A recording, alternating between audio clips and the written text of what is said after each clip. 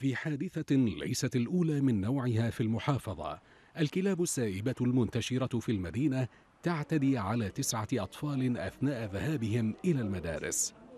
مصادر طبية في مستشفى الموصل العام أكدت أن هجوم الكلاب تسبب بجروح بليغة للأطفال حيث تم إجراء عمليات ترميمية وجراحية لبعضهم ممن تعرضوا لتشويه في الوجه والرأس.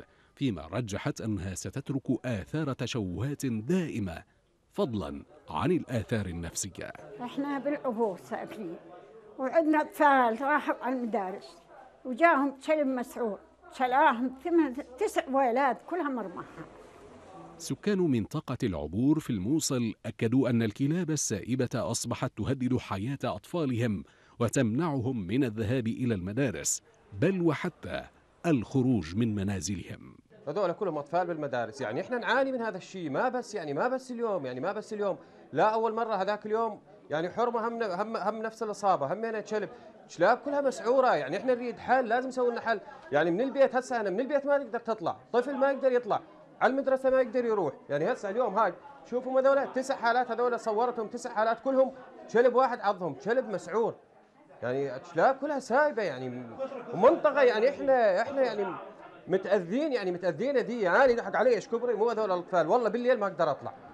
حادثة سلطت الضوء على تنامي خطورة ظاهرة الكلاب السائبة على سكان المنطقة الذين طالبوا الجهات الحكومية المختصة بالتدخل العاجل لوضع حد فوري لتفاقم الظاهرة. أطالب الحكومة يخلصونا من هاي المشكلة مال الشليب يخلصونا منها. يعني تطلع بلدية تطلع تط... يقتلونها يسممونها يعني هاي راح راح اطفالنا ما نقدر بعد لا يروحون على المدارس ولا يقعدون بالبيوت ونسوي للباب قفل وزنجيل. ما نقدر بعد حتى إحنا الكبار قمنا نخاف. يعني هاي مو وضعية هاي. لازم إحنا نريد حل. أعداد كبيرة من الكلاب السائبة تنتشر في حي العبور ومناطق أخرى في الموصل.